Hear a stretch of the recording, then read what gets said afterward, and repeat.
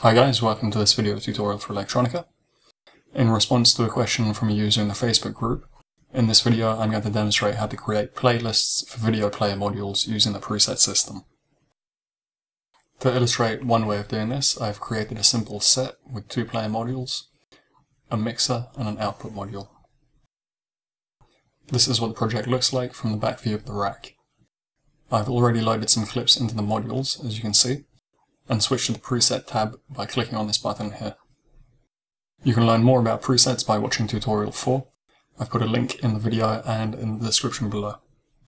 I'm going to start creating the playlist by saving the state of each of the players in its own preset by selecting the player and then clicking on the Store Preset Selected Module button at the bottom of the preset tab here. I'm going to give each of the presets a descriptive name to make them easier to work with.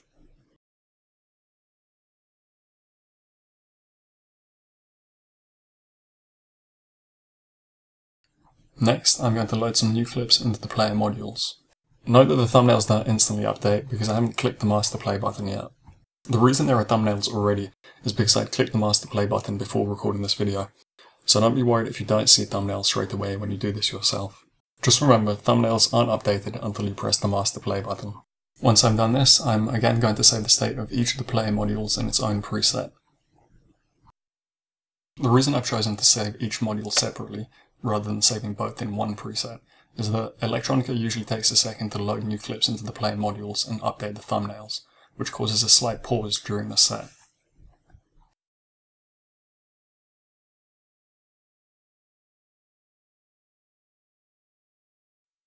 Now I'm going to demonstrate how to use the playlist I've created.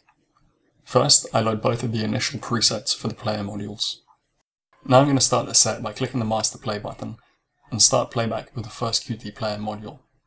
You can see that the video is now being output on screen.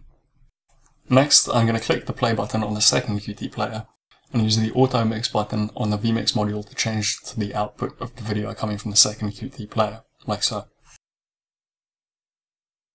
Now load the second preset I created for the upper Qt player.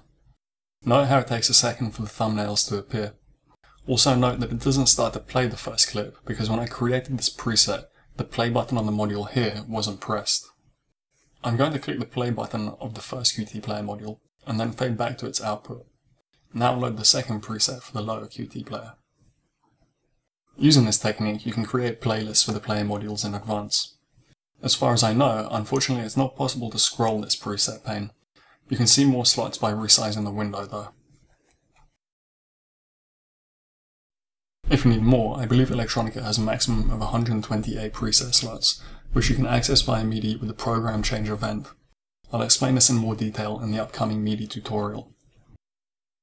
That's it for this video. If you found it helpful, give it a thumbs up. If you have any questions, leave them in the comments below or join the Elektronika Facebook group and post them there. Subscribe to my channel to get updates about new videos. Thanks for watching.